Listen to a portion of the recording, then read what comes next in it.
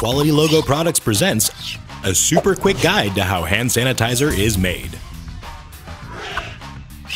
First, alcohol is pumped into a large mixing vat, and the mixer is powered on.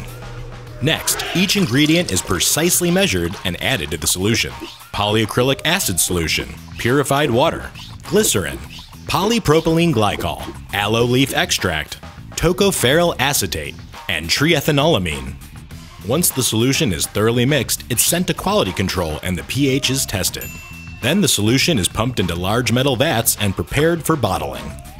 First, empty bottles are placed into the molds and sent down the line where dust is blown out of the empty bottles on their way to the filling machine. Next, each bottle is filled with the precise amount of hand sanitizer required.